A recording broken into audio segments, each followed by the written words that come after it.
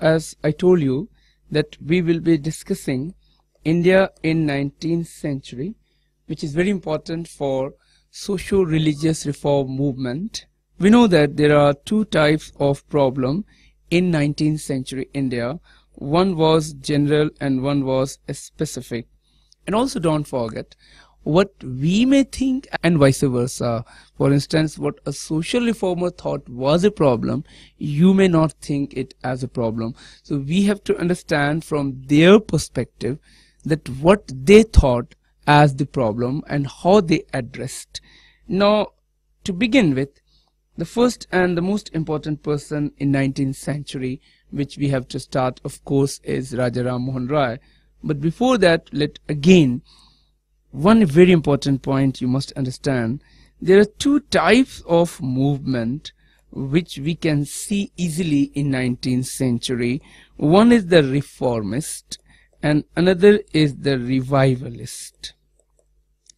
Reformists are those who were responding with the West, responding with the time, responding with the scientific temper of the modern era.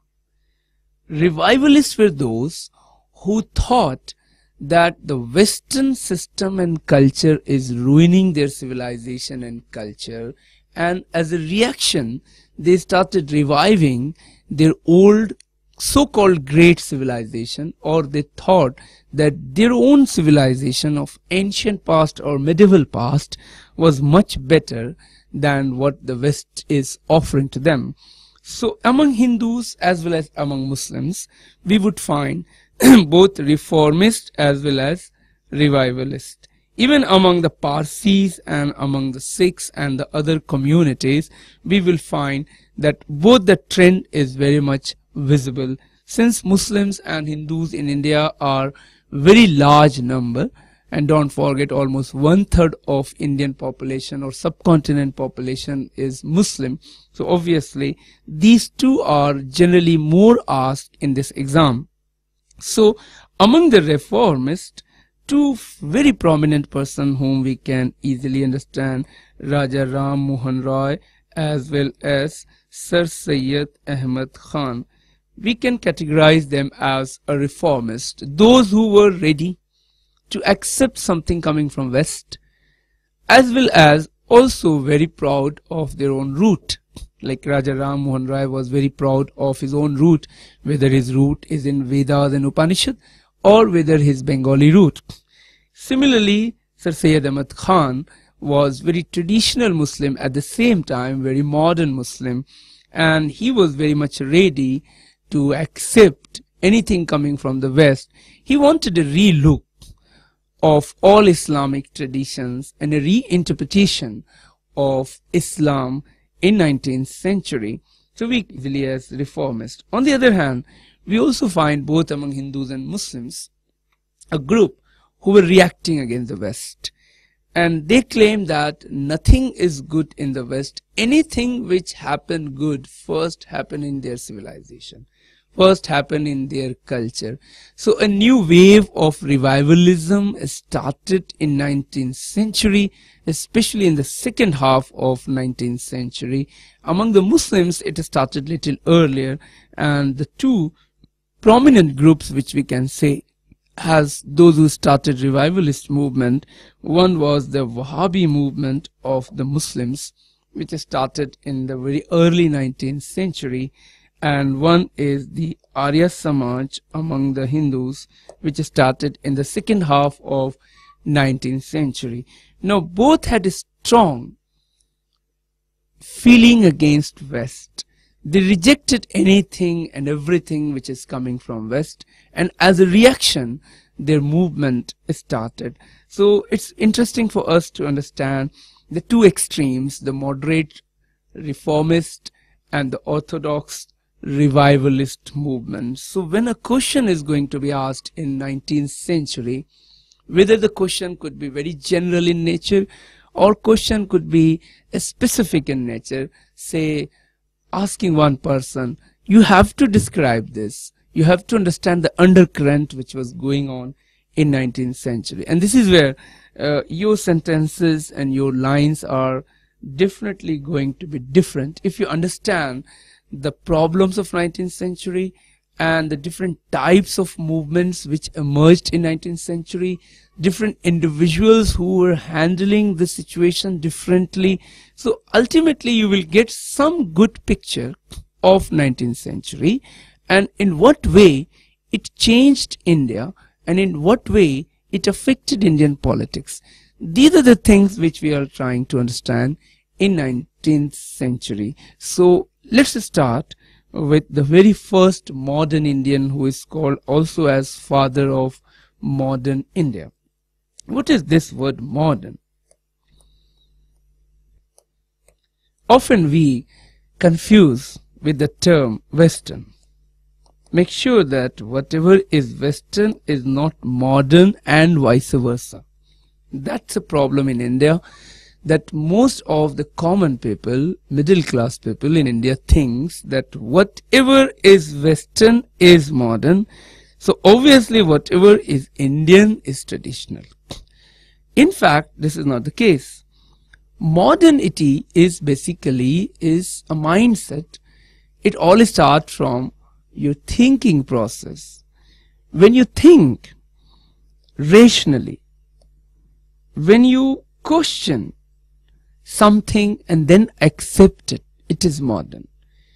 When you apply your mind before adopting any tradition or anything in your life, this is modern.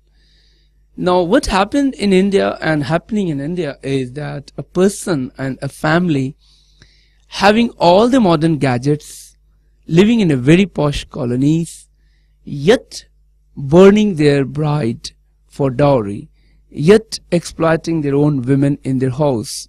So they had modern system, they have the modern equipments, but their mind is medieval. On the contrary, a person living in a village and a remote tribal area and giving equal rights to their women and the baby girl, they are much more modern than the person living in the posh colonies of say Delhi or Bombay or Bangalore or Madras. This is the point you have to understand that when we talk about modern, what is that modern? So when Raja Ram Mohan Rai we are saying a modern, it does not mean that he changed his attire from dhoti to Levi's jeans, but he became modern because his mind was now changing and ready to accept something which is coming from the West or Islam or Christianity or any other source. So, for understanding this, you have to understand that the ideas which were influencing these people for Raja Ram Mohan Rai, as we know, that he was a very well educated man. And not only in modern languages, but he also learned the classical languages. For instance, he learned Arabic, he learned Persian, he learned Sanskrit, he learned Hebrew.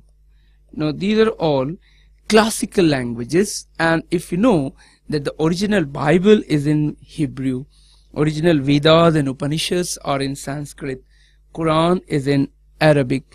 So to understand the religion with its true spirit and meaning, it is very important to understand its original language. And don't forget that most of the books in ancient time, especially in India, like Vedas, are poetic in nature. And when you translate a poem in another, any other language, then it loses not only its meaning, but of course its charm. So it can be only understood and enjoyed in its original language. And that is why Raja Ram Mohan Rai gave emphasis that how it is important to learn religion through its original language so after learning these, he had a better knowledge about, say, what is called today as Hinduism. He had a better knowledge about, say, Christianity, about Islam. And he was ready to accept the good things from all or what he thought is fitted for India. For instance, the humanity aspect of Christianity influenced him. For instance, the equality aspect of Islam affected him. For instance, the spiritual aspect of Hinduism influenced him. He was also, as I told, was very well read person. So he read some great poets like Hafiz and Rumi and there were two great poems in Persian language. He studied modern day thinkers like Voltaire and Rousseau and others, political scientists, who brought big revolution in France in 1789 and don't forget it was the formative years of Rajaram Mohan Roy born in 1770 so obviously the 80s and 90s were affecting Rajaram Mohan Roy's young mind. So when he was growing up he was already having good knowledge of different religion and culture and it has been seen generally that when you have good knowledge of different culture and religion, you automatically respect the other faith and you're ready to accept the views of others. The problem with the modern Indian society is that most of the people do not know the other faith and culture and forget other culture. They do not know even their own religion, their own culture very well. For instance, the Hindus do not know what are in Vedas and Upanishads. The Muslims do not know what is in Quran and Hadith.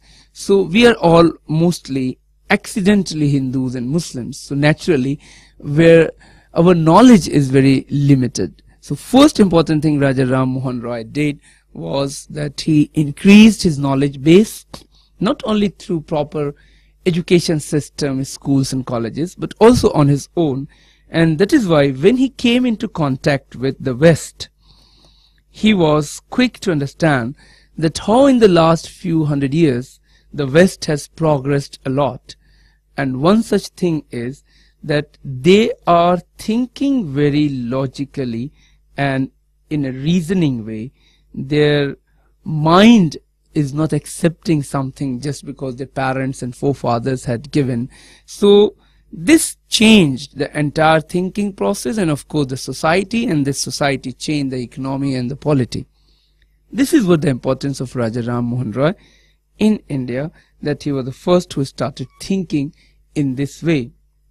Now what he did on ground which influenced not only Bengal but it is going to influence a major part of India because he literally triggered a movement and this is a movement of mind. In 1814, he founded Atmiya Sabha at Calcutta. Atmiya Sabha at Calcutta. In 1818, one of his friends founded Hindu College at Calcutta.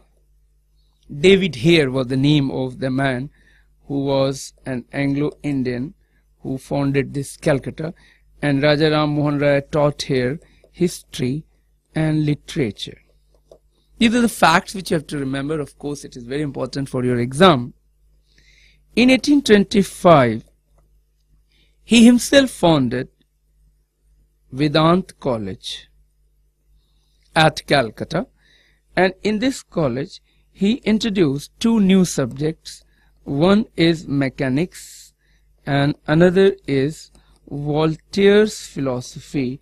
As I told you that he was influenced by many modern western liberal thinkers of 19th century and 18th century. So Voltaire was one famous French philosopher now, if you look at this mechanics, that is law of motion, that is a pure science subject, and this is a pure political science subject. This is what lacking in Indian education systems. We had not updated our own curriculum and syllabi and what was taught in his Hindu society, say in Gupta period, 1500 years back, was uh, same topic was being taught without any updating and the same problem was Muslim education system. When it came in 13th, 14th century, it was very modern, but also they didn't update their syllabi. So Raja Ram Mohan Roy when set up this college with the focus to bring the modern science, natural science and social science papers in his college. But the most famous organization which he founded in 1828 at Calcutta was Brahmo Sabha.